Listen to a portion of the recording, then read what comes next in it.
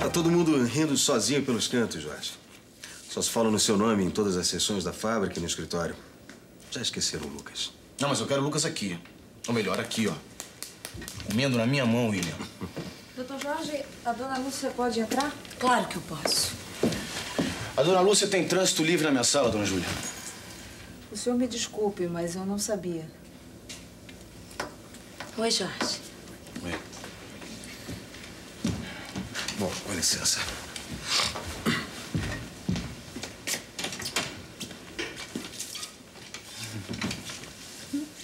Como é que vai, meu presidente? Ele tá ótimo. Hum, vou te manchar de batom. A mancha?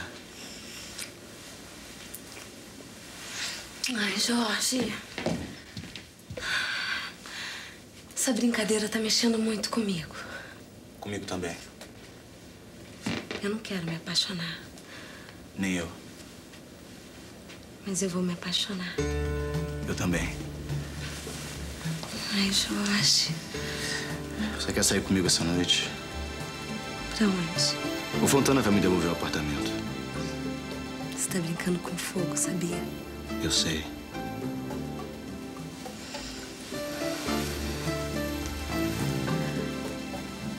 Eu não sei se eu vou aguentar até a noite.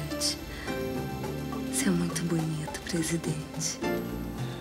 Há muito tempo que eu te acho muito interessante. Mas eu nunca. Hum, Não, Jorge, não faz isso. Pode entrar alguém. Um presidente tem que se comportar como um presidente. Eu mando pra você, fica tranquilo. William, Te ligo depois. existe uma coisa que eu preciso saber. Quem é aquele Zé Carlos? Aquele cara me dopou. O que, que você tá dizendo, Lucas? O Zé Carlos é indicação sua. Aquele cara me levou pra um restaurante e aprontou uma armadilha pra mim. Você tá doente, Lucas? Aquele cara botou uma droga na minha bebida. Perdão, Lucas, mas eu acho que você tá enganado. Por que motivo ele faria isso? Pra me afastar, pra me afastar do combate, enquanto vocês agem por aqui junto à minha avó. Que absurdo, Lucas. Isso é uma acusação muito grave. Zé Carlos é um empresário respeitável em São Paulo. Ah, tão respeitável quanto você, que me preparou uma cama de gato. Peraí, você tá me agredindo, menino. Que isso, rapaz? Sai de lá. Tira a mão de mim! Gente, o que, que é isso? Rapaz, eu... Calma, rapaz, calma! Gato, hein? Você é um maluco, garoto! Lucas! Ô, William, vocês se controlem! Moleque! Moleque Eu vou, desma- eu vou desmascarar essa cambada de ladrões! Calma! Vou desmascarar!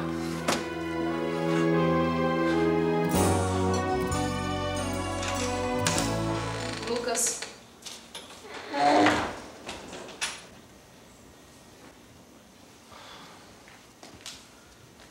Você demorou a chegar?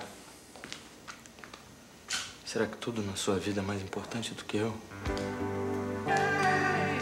Desculpa. Eu vim mais depressa que eu pude.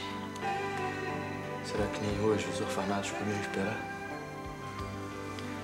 É que tem tempo que eu não vou até lá, tinham algumas crianças que estavam precisando de mim.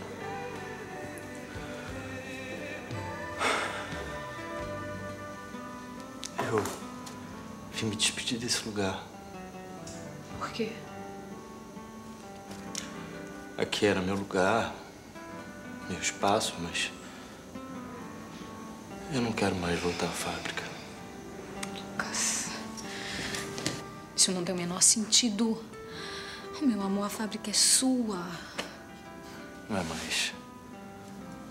Agora é do Jorge. Eu não quero nem saber.